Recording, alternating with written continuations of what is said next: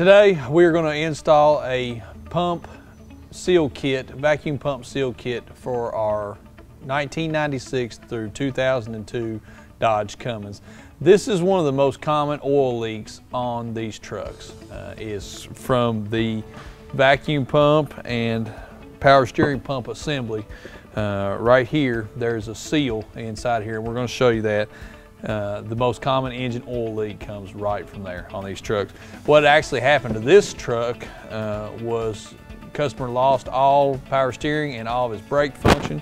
Uh, what he had was he was there was a broken coupler in his, on the vacuum side of the pump, which is really common on these pumps as well. This is the two-section pump.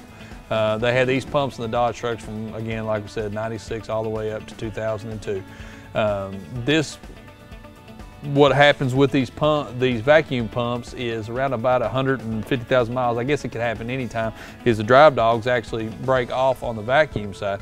Now these vacuum pumps are very expensive. Uh, you most of the time you won't have to buy a vacuum pump. Uh, that you can just fix a dog.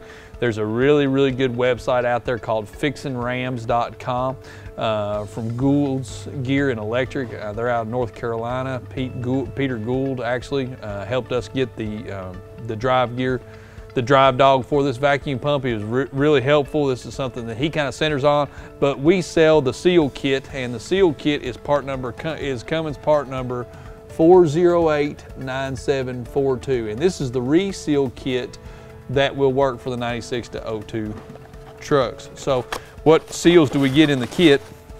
We're gonna get the main seal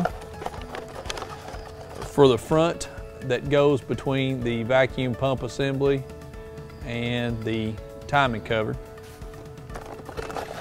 Then inside of here, it'll have an instruction sheet on how to install it. It comes with instruction sheet on how to install it, the, the right way to do so. That comes with this kit. Uh, and then there'll be a small envelope in here with the rest of the seals. This is our main culprit seal. This seal right here, this is where all the oil leaks come from. We're going to show you how to install that. Uh, this is the mating surface O-ring that comes between the two halves of the vacuum pump. And then the seal retainer has an O-ring and you get that in the kit as well. So that's everything you need to reseal this pump. Uh, we're going to show you where the drive dog uh, broke and where we had to call uh, fixinrams.com to get it and appreciate uh, Mr. Gould taking care of us there. But we're going to show you how to reseal this pump, which is another very common oil failure, oil leak that on this truck. I'm going to show you how to do this real quick. All right, so we've already got the pump off the truck. This is really easy to remove from the truck. It's just two bolts that holds it onto the timing cover. Uh, this is just uh, uh, this is a non-timed part, so when you pull it out, you don't have to worry about marking it for any timing. There's no Woodruff keys here, anything like that. You simply take your lines off, take your hydraulic lines off, uh, remove your vacuum line, take your two bolts out and remove it from the timing cover and you're good to go. And that puts on the pump real easy to, to, to take this off. So uh, we've already put a new vacuum or a new hydraulic pump on this new power steering pump on this. Uh, it was, you know, uh, a cheap and easy part to fix. Had it already had it off the truck, went ahead and put this on. Uh, so we're going to go ahead and take, show you how to take the, the uh, power steering pump off. 15 metric wrench for these. And we'll just go ahead and start loosening these nuts up. There's four of these, which attach it to the vacuum pump when you're working with this pump, you really want to be careful of what you do here. Uh, again, the vacuum pump is, is a very expensive part. Uh, if you bust the housing, all bets are off. Uh, you will have to get a new, um, you will have to get a new, new vacuum pump, unfortunately. So make sure you take your time here and do this correctly. I'm going to show you how this is how this actually works when we separate this. So taking our power steering pump off, just the four nuts and they'll come out. The studs may come out, they do, don't, don't worry about that. But you can see inside the vacuum pump there, there's a little cross uh, female drive section. Okay, on your power steering pump, you can see on the end of the pump, there is a drive dog that slips on the shaft that's pressed on the shaft there.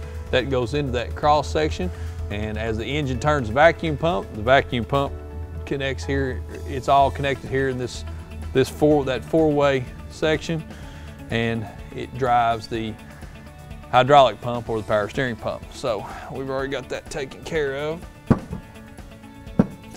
So now we're gonna show you how to separate the vacuum pump. The vacuum pump has got two 13 metric bolts that hold it on here and right here. They're pretty tight. We've already had these loose, so just gonna go ahead and loosen those up.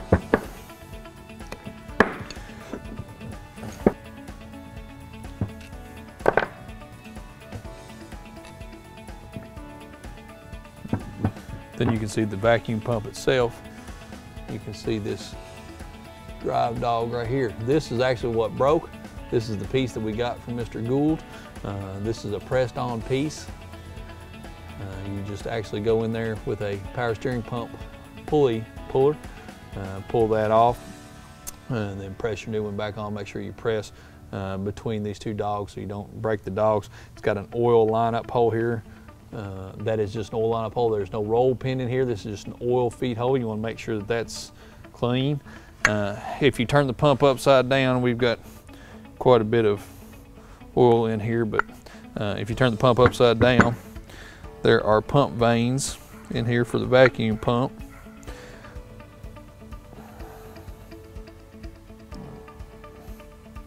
Oil's got those. They're in there, but if they fall out, they go back in one way. They want to, you want to make sure that they they work with the curvature of the uh, the curvature of the of the the pump body itself. Uh, centrifugal force makes those fly sling out uh, and create make a make contact with the outside of the housing. Uh, that's what creates your vacuum inside the pump. Uh, this seal right here, we will be replacing it as well. So this is our main section. This seal right inside here, you can see that's always your culprit for your oil leaks. We're gonna drive that out, drive that seal out. Now this part of the coupling here, this little, this bright silver part, that is the seal retainer. That's what actually holds the seal in. So we've got to drive it out from the back. Now you'll notice on this cross piece here that there's a little dimple in there and you see that at the bottom of the screen there, probably six o'clock position. Uh, doesn't matter on the orientation of that, but we know that it's facing downwards or it's going to be, I'm sorry, it's going to be facing upwards from where we drive the uh, drive the seal retainer out. So we're just going to turn this upside down here. Uh, it's a little bit higher on one side. What you can do is you can actually just put your two bolts in on one side to even it out. So we're going to mark our seal retainer here so we get it back in the same the same position.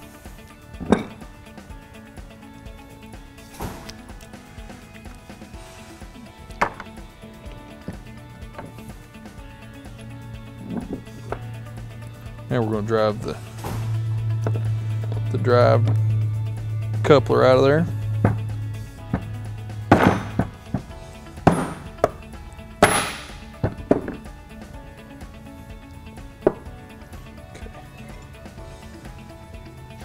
So now what you want to do is you want to dry up the inside of this real well. Make sure that you get this dry. So you've got your retainer out.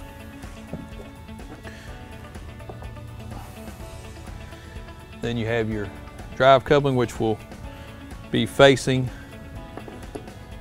up as this way. So with it, it came out from the bottom, so it's gonna face up. So we can just go ahead and take this, turn it upside down, pop it back right back into the uh, to the center section here. So our two seals that we're going to replace on the the seal retainer are this O-ring here and then our main culprit on the inside here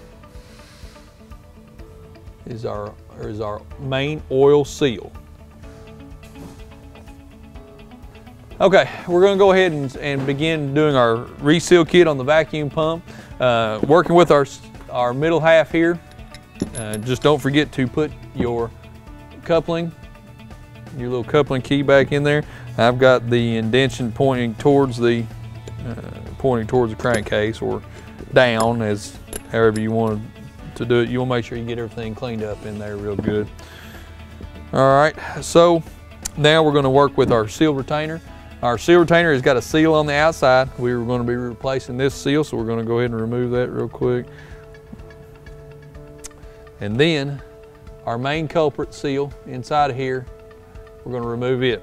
So we're going to drive this seal out, uh, be driving it down with the spring. The open end of the seal is what is the direction we'll be driving, be driving it down. Uh, what I usually use on this, um, is just a one inch socket and that works just about perfectly. Rubber mallet, drive it out. Goes. Right. There's our main culprit there again. So what we're gonna do now is we're just gonna reinstall it. So we wanna make sure that we get our new seal our handy dandy Cummins kit and we want to put it in with the spring side, the open end, always faces towards the oil. That's the best way to, to always remember that. When you install this, you want to install this dry. So clean this up real well. And we're going to install it. We'll install this dry. So you'll want to put your seal in here and get it started. And, it, and it'll go in a pretty good you know ways by itself. Uh, it does have a, of course when you take this apart you'll see it does have a, a, a stop in there so it's only going to go so far.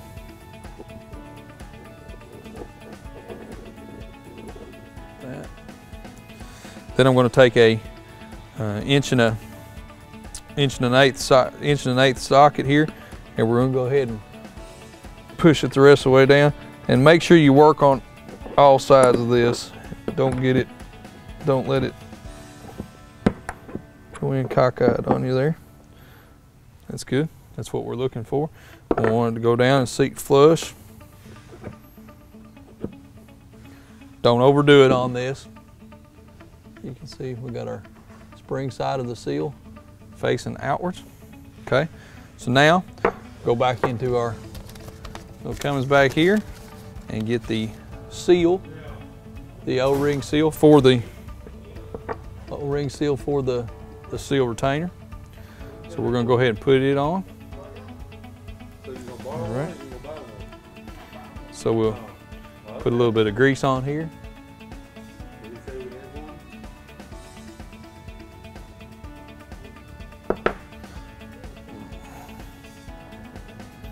Let's see.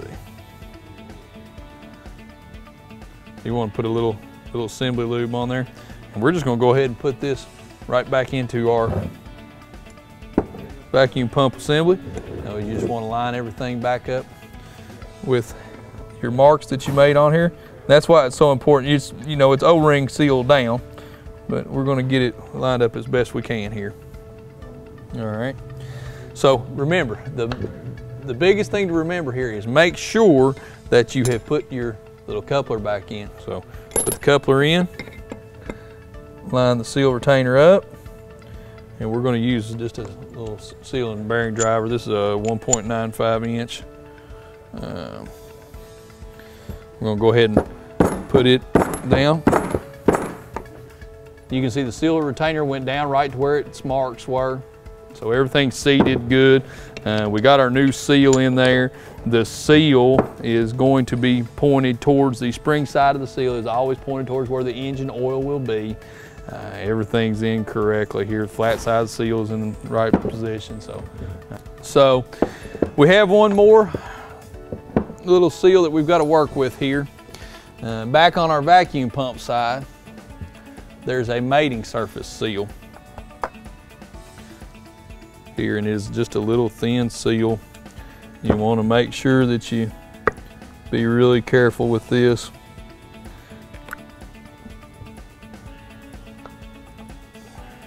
Clean it up before you install the new seal that will come in your Cummins kit.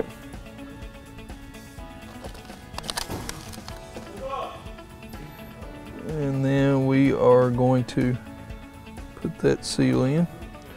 And that's just a mating surface seal. We're going to give that just a little shot of grease.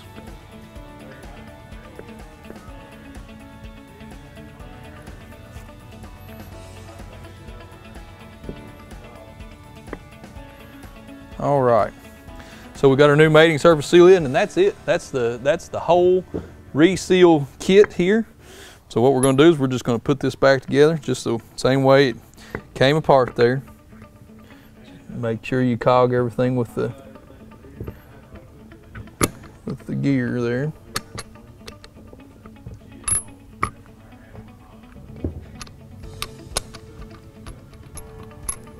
So just working to get the drive dogs taken care of there. Then put our two 13 metric bolts back in. And don't tighten anything down until you know that you've got everything lined up. There is a standard or a little roll pin on the face of this vacuum pump. You want to make sure that you don't force this. Make sure that everything is down and seated correctly.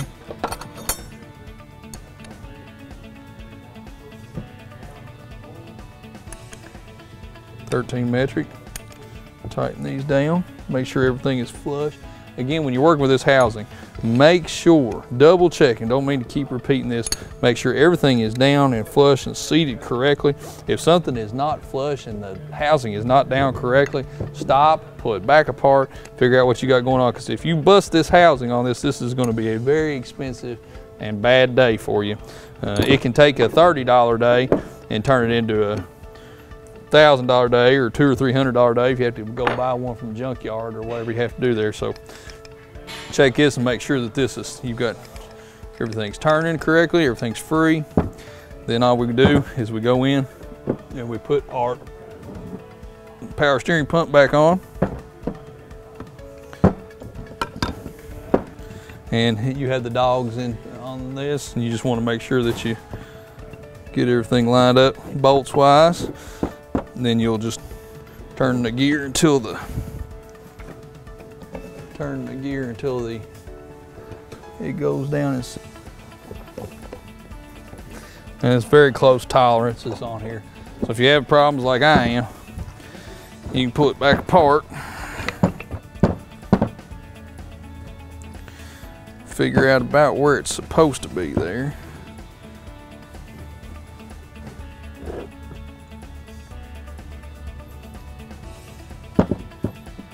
Now, that's what we're looking for. The pump has gone all the way up. Now, we can go ahead and put our 15 metric nuts on them. There's four of these holding the hydraulic pump on.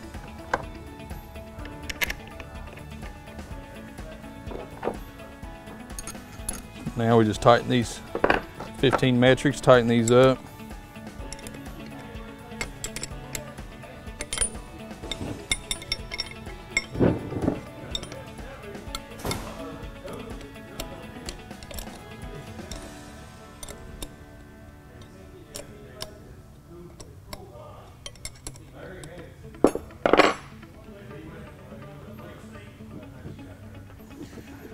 So there you go. Everything is good to go there. Everything is freed up there. The pump is ready to reinstall. We just go ahead and uh, our last seal in the kit is the seal between the vacuum pump and the engine. You just pull up, when you go to reinstall it, you just put this seal right back on, reinstall it, and you're good to go there. So this, is the, this was the installation of our vacuum pump seal kit for our 1996 to 2002 Dodge. Part number is Cummins 4089742. We've got these on our website. If you've got a question on this installation or any of our other installations, please don't hesitate to give us a call. Thank you.